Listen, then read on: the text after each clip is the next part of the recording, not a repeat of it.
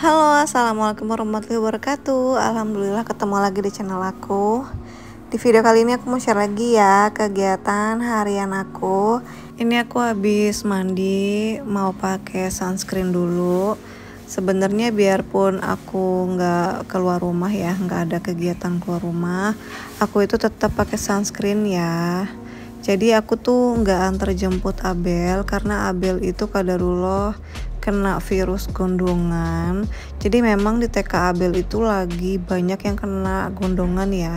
Dan itu karena virus kan virus itu susah banget dihindarin. Biarpun udah pakai masker anak-anaknya tetap aja yang namanya virus tuh kena ke siapa aja. Jadinya hari minggu malam itu aku lihat kok Abel kok kayaknya uh, eh sorry uh, Sabtu ya Sabtu sore. Sabtu sore itu Abel itu kayak aku lihat pipinya itu kok kayak bengkak gitu ya kayak beda aja lah dari biasanya. Dan ternyata aku lihat lagi ternyata bener ya. Gondongan gitu. Alhamdulillahnya Abel sih nggak ada demam cuman sakit aja nyeri aja gitu. Jadi aku cuman kasih anti nyeri aja ke Abel. Karena emang pas rasa sakitnya itu pas mau makan ya pas lagi makan sorry pas lagi makan terus lagi ngunyah itu sakit gitu di bagian yang bengkaknya itu pipinya. Ini aku habis beli telur di Astro. Astro itu andalan aku banget ya kalau lagi males keluar rumah. Padahal cuman ke warung aja rasanya tuh mager banget. Aku selalu belinya di Astro karena dia free ongkir juga ya tapi ada minimal paymentnya sih ada minimal pembelian gitu. Ini aku beli telur terus sama roti karena Abel minta roti. Ini roti Astro juga empuk banget deh. Aku kan udah dua kali beli ya pas pertama kali beli tuh kayak ini tuh lembut banget rotinya namanya milk bread. Kalau nggak salah dia tuh ada dua macam kan yang milk bread sama yang cloud cloud bread kalau nggak salah deh nah yang milk bread ini tuh enak banget wangi terus roti tuh lembut banget. Dia tuh kayak roti kupas gitu ya bener deh lembut banget. Teman-teman udah ada yang pernah nyobain belum rotinya Astro nih yang milk bread ini? Ini lembut banget aku suka banget. Nah ini aku mau sarapan dulu ya. Jadi ini tuh kegiatan aku dari pagi. Aku mesen Astro itu tadi tuh sekitar jam 7 ya. Nggak nyampe 20 menit udah sampai karena aku tuh pakai pengiriman yang cuma 15 menit aja. Pokoknya cepet banget deh. Nggak nyampe setengah jam Astro tuh ya udah nyampe ke rumah ini aku tuh sarapan pagi bekas makan anak-anak aja ya. Karena sejauh ini aku tuh kalau sarapan pagi itu udah nggak pernah yang ba banyak banget gitu udah nggak pernah udah jarang banget malah kadang-kadang tuh cuman makan pisang aja atau ngabisin makanan anak-anak aja kayak gini. Tadi tuh aku makan bubur ayam ya. Karena Abel kan lagi sakit tuh pipinya jadi dia minta bubur ayam terus nggak habis. Abi juga nggak habis bubur ayamnya. Ya udah aku jadiin satu terus aku makan deh. Tapi kadang-kadang juga aku sarapan kok. Maksudnya udah bukan yang setiap hari harus sarapan gitu loh enggak kalau dulu kan aku emang selalu sarapan gitu. Tapi kalau sekarang tuh lebih fleksibel aja sih. Kadang sarapan kadang enggak.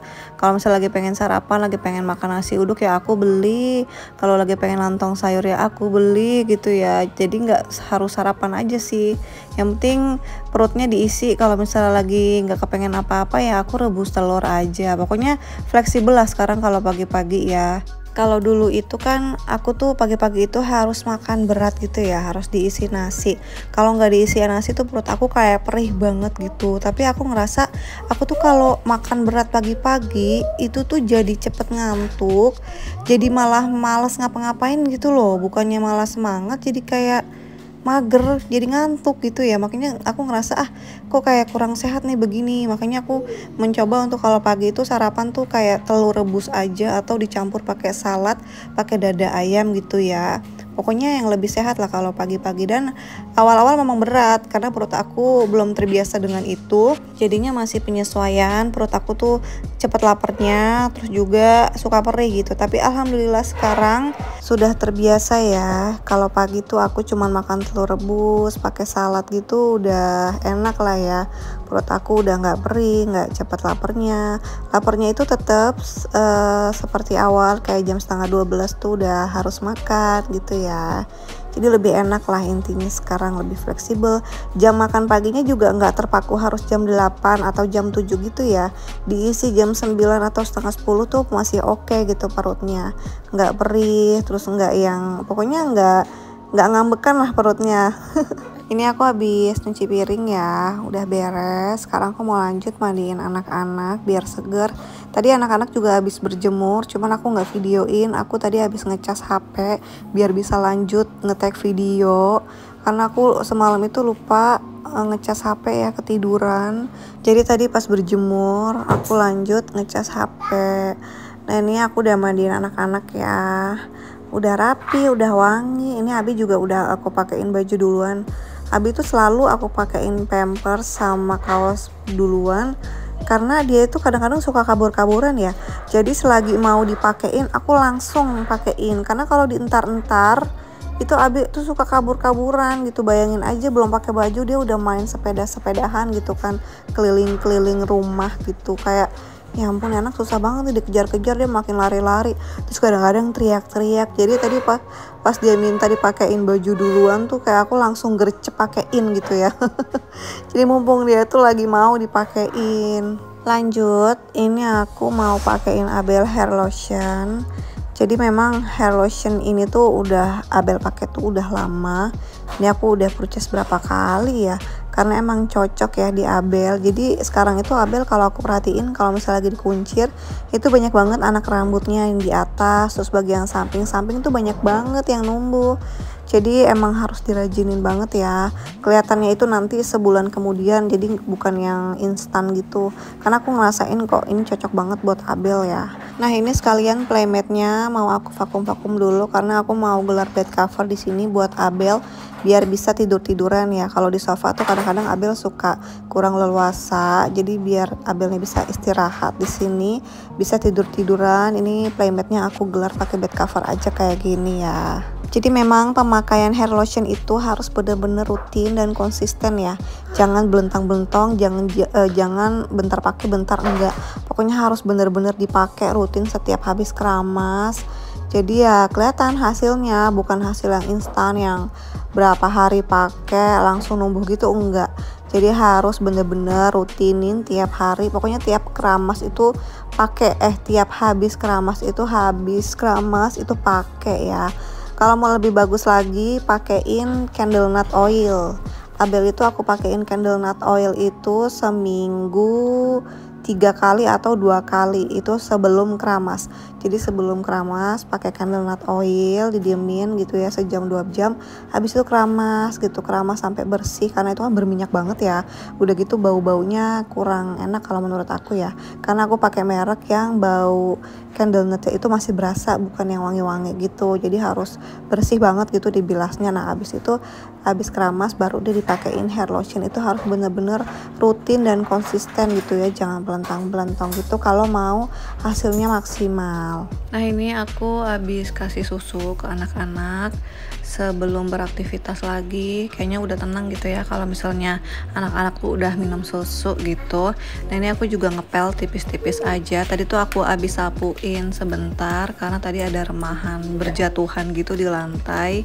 Jadi langsung aku pel aja supaya keset gitu. Karena lantai aku tuh sering banget lengket ya. Biasalah bocil-bocil ini ya.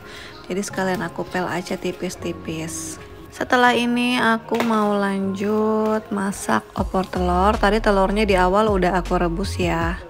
Jadi sekarang udah mateng tinggal uh, ngeblender bumbunya aja. Bumbu opor sih bumbu pada umumnya aja ya aku bumbunya bikin sendiri nggak pakai bumbu instan. Karena biasanya kemarin-kemarin aku campur atau pakai bumbu instan aja. Tapi sekarang ini aku lebih sering bikin bumbunya itu bikin sendiri aja. Karena cuma bawang putih bawang merah kemiri jahe kunyit gitu aja. Terus di blender udah ya. Aku tuh kalau opor tuh lebih suka opor kuning ya. Kan ada tuh teman-teman yang lebih yang suka juga sama opornya tuh yang tanpa kunyit ya yang opor putih ya. Cuman kalau aku lebih suka yang kuning jadi aku tambahin kunyit. Nah ini telurnya lagi aku kupas-kupas. Ini PR banget ya ngupas telur. Biasanya ini tugasnya Abel cuman tadi Abel tuh nggak mau ngupasin. Karena dia maunya nonton TV aja lagi pengen istirahat. Jadinya ya udah aku aja yang ngupasin ini tuh soalnya telurnya aku bikinnya banyak ya karena buat makan sekalian sama sore makan malam ya. Udah gitu Abel sama Abi itu ya makan telurnya itu kan kadang-kadang berdua itu tiga kadang-kadang empat gitu ya. Jadi aku bikinnya ya lumayan banyak. Kalau aku satu juga udah cukup sih sekarang Abel tuh suka ya sama opor telur. Cuman Abel itu lebih suka sama opor telur dibanding opor ayam. Makanya requestnya itu bilang tanpa ayam maunya pakai telur aja gitu ya. Padahal kalau pakai ayam tuh kan enak ya karena kan nanti ada kaldunya gitu lebih gurih ya.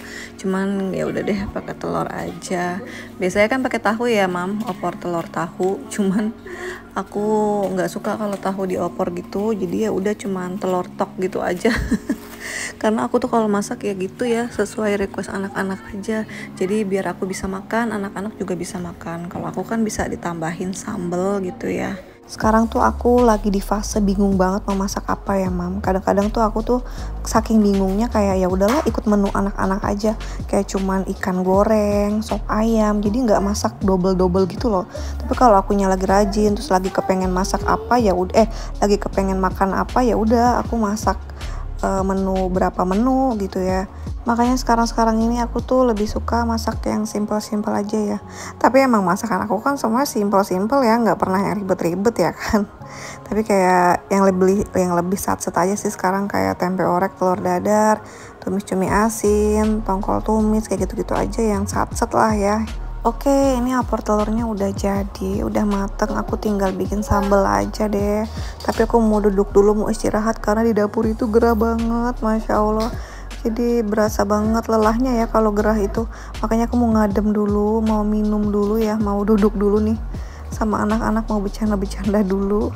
Oke deh, sampai di sini dulu ya video aku kali ini. Terima kasih yang sudah menonton sampai habis. Semoga terhibur. Sampai ketemu di video selanjutnya. Wassalamualaikum.